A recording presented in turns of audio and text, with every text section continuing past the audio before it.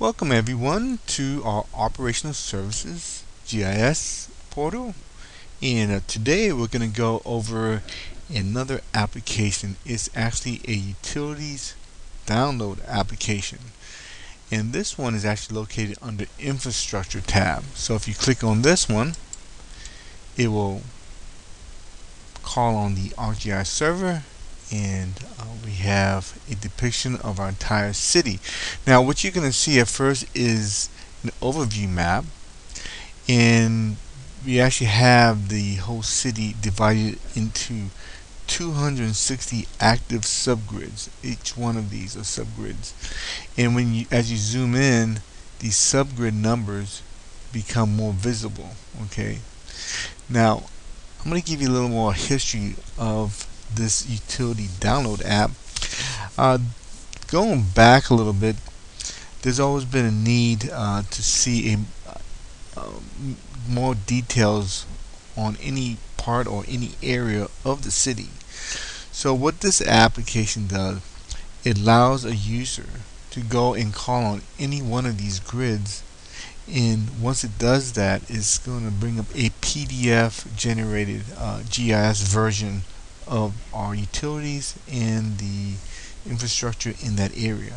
From there you can actually print or email a particular area and um, it's been very useful. You can use it for a variety of uh, ways. Uh, sometimes these are used for uh, engineering uh, permits. Sometimes they're just used to give out a location map of our underground utilities and we'll discuss that a little more in detail. Now, we'll go ahead and discuss how do we actually use this application. Okay, we've gone over this uh, previous video uh, videos on, on some of these buttons up here, so I'm not going to start off with that. But the first way we use this is to actually just simply zooming in a particular area that you're inter we're interested in. So if we're interested in say this particular pod in Monarch Lakes, we can zoom in this area and we can go to this identity button, click on it, and then click on, example, 36A. That will show a utility subgrid under results. There will be a plus sign that you need to click on to expand. Click on it one more time, and then when you check it, it will actually highlight that. Click it one more time, it will bring down a PDF here. You just have to open up the window. When you click on this, you will actually get a uh, PDF version that you can do many things with. Okay, and uh, of course, you know with PDFs you can zoom in and it'll give you a number of different details. Now, we'll come back to that in a moment of the different layers shown but I want to go over uh, another way that we can actually locate by the way you can zoom in and zoom out with the middle uh, scroll button if you have one or you can actually just use the uh, minus sign you can zoom out or you can hit this globe for the full extent so different ways uh, you can navigate um, the second way we're going to use uh, search subgrid. Um, there's an example in here already. Say we wanted to um, look at uh, 30B. Click on 30B. Under results, it will display search subgrid. You see 30B, put a check mark, and then uh, we're going to go ahead and uh, zoom to it. Okay, so this is 30B. It is in the town center area. Now we expand the plus sign one more time, gets a PDF, click on it, and the PDF is going to bring that area. Now what you can see here is a number of layers. You see force mains, uh, drainage, uh, there's blue water. To make it easier on the top, we actually have a legend okay so Uh, we'll look at some of these legends real quick. You see the force main is this dashed green line, gravity, sewer lateral, all the sewer uh, related features are uh, in depicted here okay? And down here you can actually see the, the manholes. You can actually see um, you know different things like directional flows the way they're flown by the arrows. Uh, water mains are in blue water valves reuse mains they're kind of like in purple. You can see this dashed purple line here. Um, something to note too let me zoom in a little bit more. Uh, the size diameter of the pipe is in the same color of the feature that you're looking at. So this is a reuse line with a 16 inch diameter.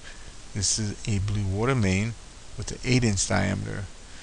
This is a 15 inch outflow diameter uh, with this uh, storm drainage and that's in brown. So brown to brown, blue to blue, purple to purple, uh, so forth. This force main here is a 30 inch force main diameter. So you can actually use this in a number of ways and um,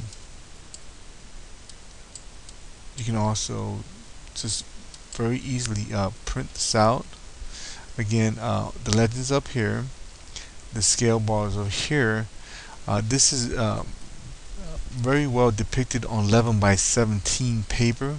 So if you want to go ahead and print it uh, you can print it to any of the least uh, copy machines in the city um, pretty much anywhere you can print on 11 by 17 now.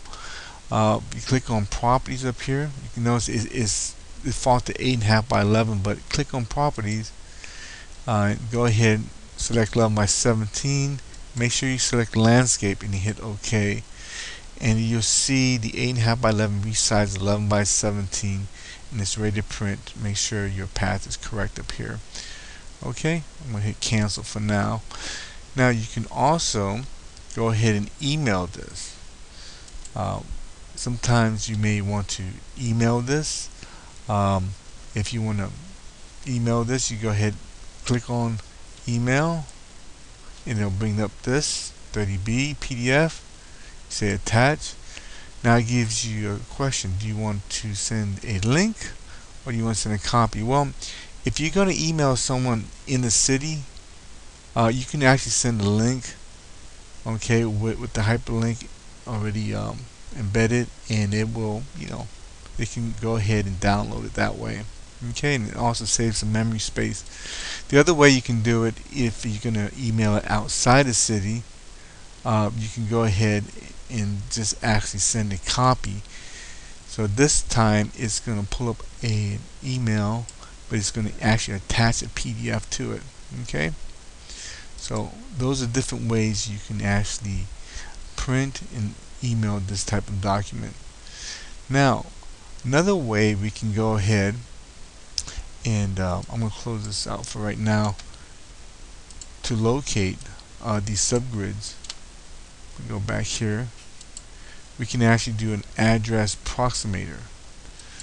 Okay, this address proximator will, if you know the general uh, address, um, you can pull up the closest subgrid in that area. So we're going to put in 13900.